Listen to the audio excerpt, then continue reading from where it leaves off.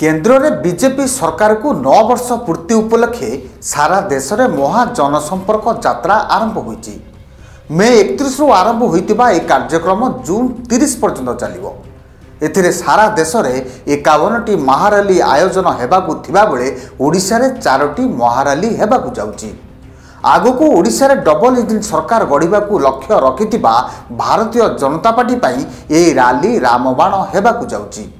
ପ୍ରଥମ ମହାରାଲି ଆସନ୍ତା ସତର ତାରିଖରେ ଢେଙ୍କାନାଳରେ ଆୟୋଜନ ହେବାକୁ ଥିବାବେଳେ ଏଥିରେ କେନ୍ଦ୍ର ସ୍ୱରାଷ୍ଟ୍ର ମନ୍ତ୍ରୀ ଅମିତ ଶାହା ଯୋଗ ଦେବେ। କିନ୍ତୁ କାହିଁକି ଢେଙ୍କାନାଳରୁ ହିଁ ପ୍ରଥମ ରାଲି ଅନୁଷ୍ଠିତ ହେବ ଏହାକୁ ନେଇ ପ୍ରଶ୍ନ ଉଠୁଥିବା ବେଳେ କେନ୍ଦ୍ରମନ୍ତ୍ରୀ ଧର୍ମେନ୍ଦ୍ର ପ୍ରଧାନ ଢେଙ୍କାନାଳରୁ ଲଢ଼ିବେ ବୋଲି ଇସାରା ଦେଇସାରିଥିବାରୁ ଏହି ମହାରାଲିରୁ ହିଁ ଧର୍ମେନ୍ଦ୍ରଙ୍କ ପାଇଁ ପ୍ରଚାର କରିବେ ଅମିତ ଶାହା। ନମସ୍କାର ମୁଁ ସତ୍ୟବ୍ରତ। ଆପଣମାନେ ମୋ ସହ ଦେଖୁଛନ୍ତି ତର୍ଜମା। କେନ୍ଦ୍ରମନ୍ତ୍ରୀ ଧର୍ମେନ୍ଦ୍ର ପ୍ରଧାନ ପାଇଁ କର୍ଣ୍ଣଧାର ସାଜିବେ କେନ୍ଦ୍ର ସ୍ୱରାଷ୍ଟ୍ର ମନ୍ତ୍ରୀ ଅମିତ ଶାହା ଅମିତ ଶାହା ଏବଂ ଧର୍ମେନ୍ଦ୍ରଙ୍କ ମଧ୍ୟରେ କିଭଳି ସମ୍ପର୍କ କାହାକୁ ଅଛପା ନାହିଁ। ଉଭୟଙ୍କ ମଧ୍ୟରେ ଭଲ ସମ୍ପର୍କ ଯୋଗୁଁ ବିନା ନିର୍ବାଚନ ଲଢ଼ି ଲଗାତାର ରାଜ୍ୟସଭାରୁ ସାଂସଦ ହୋଇ ଭାରି ଭାରି ବିଭାଗର ମନ୍ତ୍ରୀ ହୋଇଛନ୍ତି ଧର୍ମେନ୍ଦ୍ର। କିନ୍ତୁ ଅମିତ ଶାହା ଅଧ୍ୟକ୍ଷ ପଦରୁ ହଟିବା ପରେ ଧର୍ମେନ୍ଦ୍ରଙ୍କ ପାଇଁ ଟିକେ ଅଡ଼ୁଆ ପରିସ୍ଥିତି ସୃଷ୍ଟି ହୋଇଛି। ଅବଶ୍ୟ ଜେପି ନଡ୍ଡାଙ୍କ ସହ ଧର୍ମେନ୍ଦ୍ରଙ୍କର ଭଲ ସମ୍ପର୍କ ରହିଛି।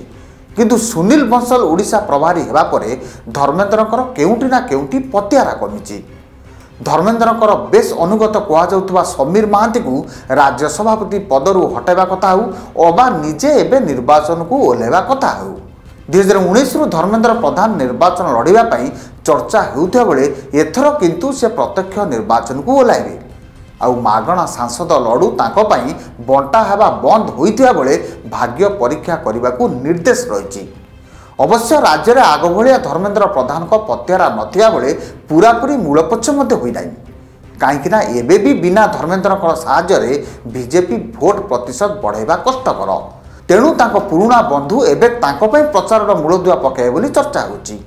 ମୋଦି ସରକାରଙ୍କ ନଅ ବର୍ଷର ବିଭିନ୍ନ ଉପଲବ୍ଧି ଲୋକଙ୍କ ଆଗରେ ରଖିବା ସହ ବିଜେପି କର୍ମୀ ଓ ନେତାଙ୍କୁ ଗୁରୁମନ୍ତ୍ର ଦେବେ ବିଜେପିର ଚାଣକ୍ୟ ଧର୍ମେନ୍ଦ୍ରଙ୍କ ପାଇଁ ଏହି ମହାରାଲି ବିଶେଷ ଗୁରୁତ୍ୱ ବହନ କରିବ ଏହା ସହ ବିଜେପି ସାଧାରଣ ନିର୍ବାଚନକୁ ନଜର ରଖି ଓଡ଼ିଶାରେ ଚାରୋଟି ମହାରାଲି ଆୟୋଜନ କରୁଥିବାରୁ ଅମିତ ଶାହା ରାଜ୍ୟର ବିଜେଡି ସରକାର ପ୍ରତି କେଉଁ ଆଭିମୁଖ୍ୟ ଗ୍ରହଣ କରୁଛନ୍ତି ତାହା ଉପରେ ରହିବ ସମସ୍ତଙ୍କ ନଜର ଅନ୍ୟପଟେ ଧର୍ମେନ୍ଦ୍ର ମଧ୍ୟ ତିନି ଦିନ ତଳେ ଢେଙ୍କାନାଳ ଜିଲ୍ଲା କଙ୍କଡ଼ାହାଡ଼ ଯାତ୍ରା ପଡ଼ିଆରେ ଗରିବ କଲ୍ୟାଣ ସମାବେଶରେ ଯୋଗ ଦେଇ ନିଜ ପାଇଁ ପରୋକ୍ଷରେ ପ୍ରଚାର କରିଥିବା କୁହାଯାଉଛି।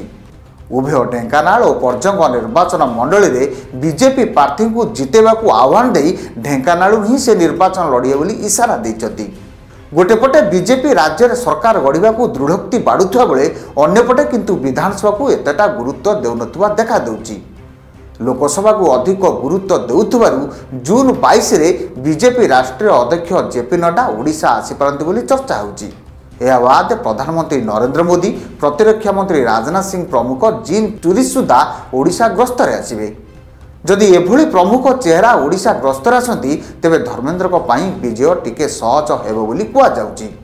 ଅନ୍ୟପଟେ ବିଜେଡ଼ିରୁ ସାଂସଦ ଥିବା ମହେଶ ସାହୁଙ୍କର ମଧ୍ୟ ସେତେଟା ପ୍ରଭାବ ଢେଙ୍କାନାଳରେ ନାହିଁ। ସାଂସଦଙ୍କର ଲୋକସଭା କ୍ଷେତ୍ରର ଅନେକ ବିଧାୟକଙ୍କ ସହ ତୁ ତୁ ମେ ମେ ରହିଛି। ଅବଶ୍ୟ ବିଜେଡି ସେଠାରେ ଅନ୍ୟ କାହାକୁ ପ୍ରୋଜେକ୍ଟ କରିପାରେ ବୋଲି ମଧ୍ୟ ସମ୍ଭାବନା ଅଧିକା ରହିଛି। କିନ୍ତୁ ଏବେକାର ପାଣିପାଗ ଦେଖିଲେ ଧର୍ମେନ୍ଦ୍ରଙ୍କର ବିଜୟର ସମ୍ଭାବନା ଟିକେ ଅଧିକା ରହିଛି ବୋଲି ଆମେ କହିପାରିବା। ଆଜି ପାଇଁ ଏତିକି। ନମସ୍କାର। ଅଧିକ ଅପଡେଟ୍ ପାଇଁ ଆମ ଚ୍ୟାନେଲକୁ ଲାଇକ୍ ସେୟାର ଏବଂ ସବସ୍କ୍ରାଇବ୍ କରିବାକୁ ଜମାରୁ ବି ଭୁଲନ୍ତୁନି।